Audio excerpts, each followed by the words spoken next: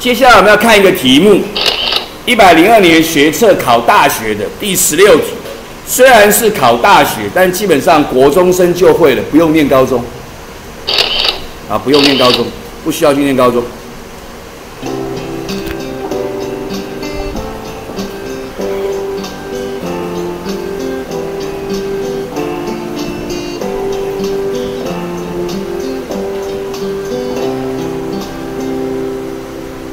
Hello，大家好。第一，我们国中没有教。百零二年自然课第十六题哦。那下列图示中哪些操作是正确的？呃，在这边我们必须要知道这些实验室的器材的操作。那这边总共有五个五个选呃有五个选项，然后有五个不同的实验室操作。那我们就一个一个来看它吧。首先是我们量筒的部分，我们量筒要把东西倒到我们量筒里面要怎么倒呢？要把液体倒到量筒里面，最简单的方法就是把我们的量筒倾斜，然后液体泡过去，然后开始进行倾倒，这个是正确的动作。那接下来我们将粉末放进我们的试管里面，那要怎么放呢？那在这边就是将它。横放，然后放进去，那这样可以避免我们的我们的粉末太多留在管壁上，然后让我们的粉末可以到我们的试管的底部，所以这个动作也是正确的哦。好，第三个，从瓶里面吸出试剂之后，在这张图上面是吸出试剂以后，我们的 dropper 就是我们的滴管，它是倒过来的。那液体就会跑到我们的吸球里面去，那这个动作呢是错误的，因为这样子我们的液体就会跑到吸球里面，会让我们的吸球变不干净。那以后我们就没办法再继续用这个滴管，因为我们如果再用这个滴管吸，那就会不干净。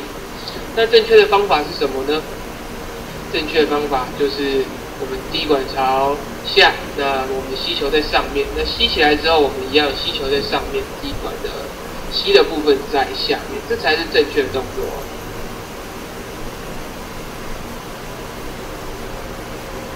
来，第四个是我们点燃酒精灯的方法。这边的图示是讲说，我们用一个点燃的酒精灯去点另外一个还没点燃的酒精灯，这个动作很明显就是错误的吧？因为我们这样一倾斜，那我们的酒精就会漏出来，那这样子只会让它更危险。到时候你点火点的整间教室都是火，那就不太妙了。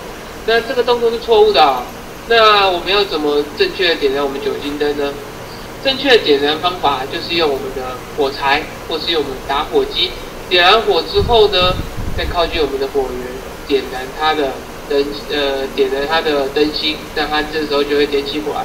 点起来之后，它就是我们正确点燃酒精灯的方式。那不要忘了，我们在呃我们在熄灭酒精灯要怎么熄灭？直接盖上它的盖子就可以熄灭我们酒精灯喽。所以未来会教。来第四个，我们要收集氢气。那收集氢气要用什么方法收集的？那它的这边集气法有好几种。那它这边提供这个叫做向上排气。为什么叫向上排气法？因为我们把空气打进来之后呢，我们要收集的气体会累积在下面，那原本的空气就会打出来。那原本的空气被往上排出来，就叫做向上排气法。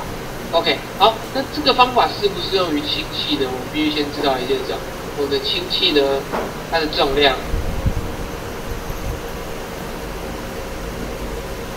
它的重量一定会小于我们的空气的重量，因为我们的空气的平均分子量大概是二十八嘛，对，所以它的重量一定比我们的空气的重量还要轻，所以正常我们氢气应该是会浮在上面的，所以这种时候我们要用什么方法排气呢？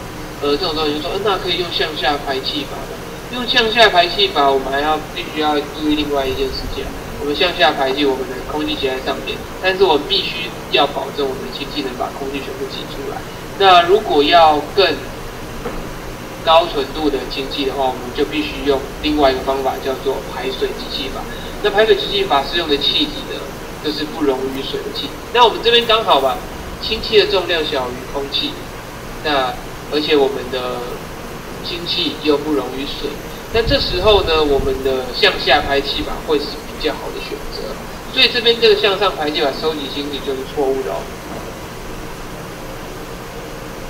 好，正确的方法就是用我们的下排水机器法嘛，我们的排水我们会不会教排水机器法？我们国中都是用排水机器法收集器给挤下去，因为我们的机器不太容易水嘛，所以呢，我们的就都会是我们的氢气，那我们水就会被挤挤挤挤下，这样就可以收集到比较高纯度的氢气哦。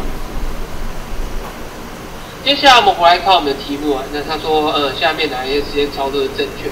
我们刚刚看了这么多的步骤，那正确是哪几个？首先是我们的甲嘛，然后乙嘛，那剩下的这个就这边就错了嘛。然后这个是换成火柴嘛，或者或或者打火机嘛，然后这个要用排水机器法，要用排水机器。